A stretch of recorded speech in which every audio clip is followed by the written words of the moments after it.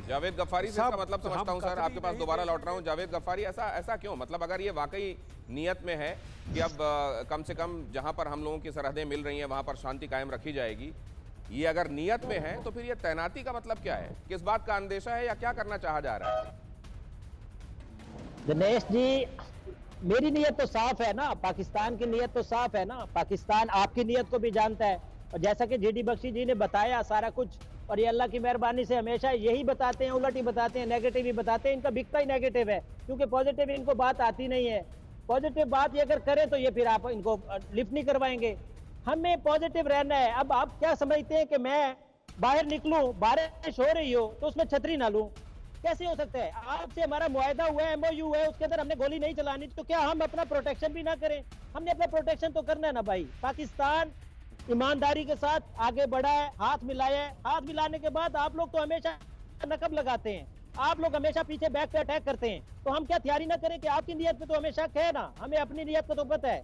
आपकी नीयत को तो हमें नहीं पता ना। और डी डी बख्शी साहब, गलत बात करने के लिए ऐसे बने हुए हैं। कहते हैं जी, पाकिस्तान का आका है चाइना? चाइना क्यों आका है पाकिस्तान का?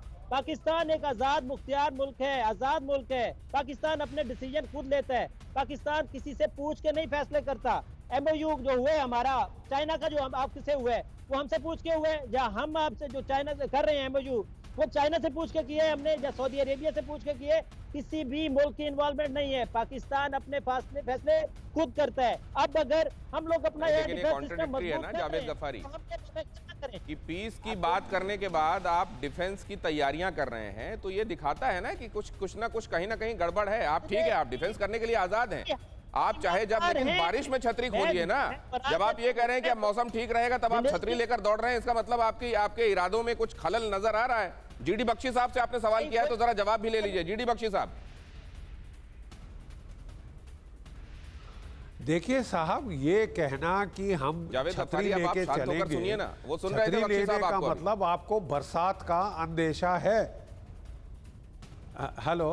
हाँ, मैं हाँ। कह रहा था कि अगर आप कह रहे हैं कि आप छतरी लेकर चलेंगे इसका मतलब आपको बरसात का अंदेशा है तभी तो आदमी छतरी निकालता है ना शरीर धूप में कौन छतरी निकाल के चलता है या जिस दिन खुला आसमान हो कौन छतरी लेके जाता है तो एक तरफ़ जब आप जो है सकून अमन चैन की बात कर रहे हैं दूसरी तरफ़ आप अपनी एंटी एयरक्राफ्ट गन्स डिप्लॉय कर रहे हैं, जो कि बड़ा लास्ट स्टेज होता है। हमले के पहले, दुश्मन के हमले के पहले या कोई कार्रवाई के पहले ही प्रिकॉशन इस तरह की ली जाती हैं।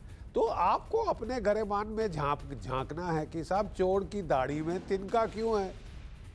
चोर की दाढ़ी में तिनका क्यों है? आपको हर चीज़ में गफलत क्यों नज़र आती है? क्योंकि जिसके वो बोलते हैं, चोरों को सारे नज़र आते हैं चोर। ठीक है साहब? अगर आपके दिल में खोट है तो आपको हर कोई लगेगा कि इसके मन में खोट है। नहीं नहीं मैं साहब बड़ी लॉजिकल बात कर रहा हूँ कि भाई हमने आपसे हम पीस की बातचीत कर रहे हैं। चाइना ने बोला वो पीछे हटना चाहता है। हमने कहा साहब हमने नहीं शुरू किया।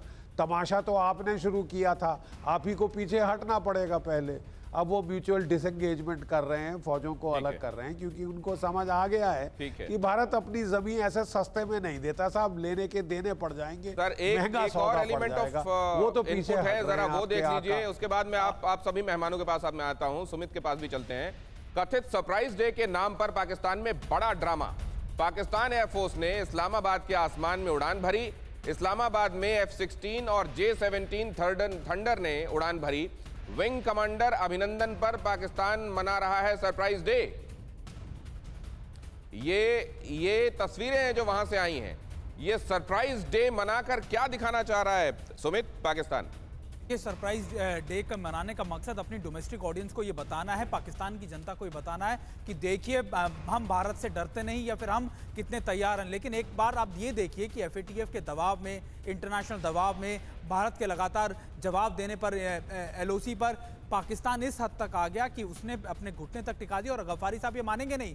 दिनेश ये बिल्कुल नहीं मानेंगे कि किस तरीके से पाकिस्तान परेशान है अपनी इकनॉमी को लेकर अपने लगातार पॉलिटिकल स्ट्रक्चर्स को लेकर लेकिन फिर भी इस तरीके के जो शो ऑफ्स हैं या फिर जो आप जिस तरीके से ड्रामा बता रहे हैं ये दिखाता है कि पाकिस्तान की करनी में और कथनी में बहुत फ़र्क है।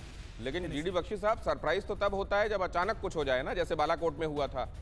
ये सरप्राइज़ ये सरप्राइज़ डे, क्या सरप्राइज़ डे? है